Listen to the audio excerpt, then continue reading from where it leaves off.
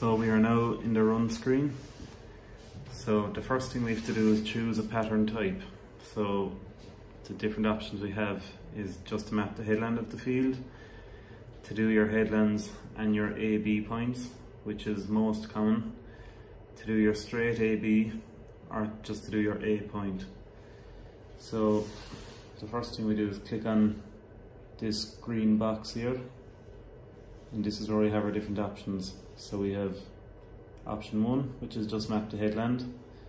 Option two, which is map your headland and have your AB point.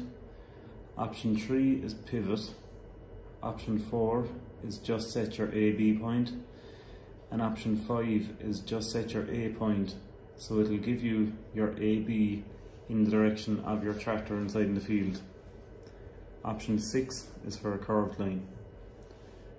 So for the most common out of all of these would be option 2 or option 4. So option 2, the headland. We click here and it's automatically set, it says number of circuits 2. So the circuits represent the amount of times you go around the headland. So for mowing we would have maybe 5, 6 circuits for spreading fertilizer you might have one circuit. So if I change this to one circuit, now it says, do you want to create an infill pattern? So that's basically my guidance line, my AB guidance lines. So I always say yes. And it says what type. So we'll click AB.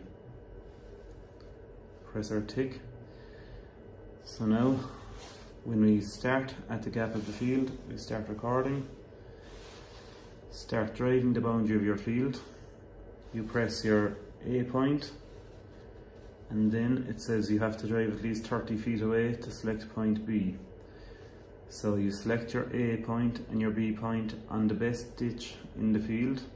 So this will be this will determine the direction of your AB guidance lines. So once you drive 30 feet away, and press point B. Point B will be highlighted once you drive 30 feet away. Drive the rest of the headland of your field back to where you started and then press your tick, your green tick. It will then create a closed boundary for the field and it will give you your headland guidance lines. So whether that's one guidance line or whether you've set it to six guidance lines on your headland for mowing to change then from your headland pattern to your what's known as your infill pattern which are your guidance lines uh, in the middle of the field up here you click on this button and at the moment as I don't have it set up it won't let me do it but this will change your guidance lines from your headland to the centre of your field. The next option we have to set up the field is just choose your AB point. So again, click on this green box, click on AB, and it's on the best ditch in the field, you click point A, drive at least 30 feet away from point A in order to set point B.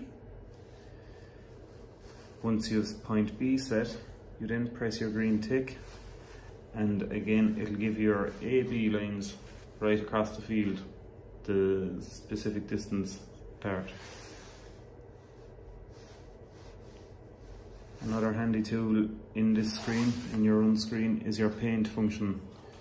So the paint function, you would always turn on your paint function when using the machine or using the implement, and you can turn off your paint function when not using the implement. So this is the button for your paint function.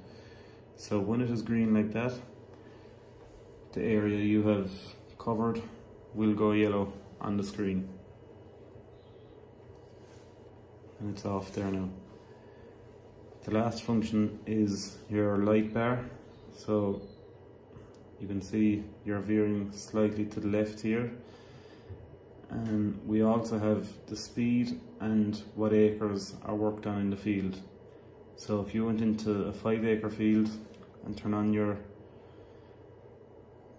paint function for the area you have sprayed are sprayed or worked on, you'll clearly see under the, the acres tab here what area within the field you have covered.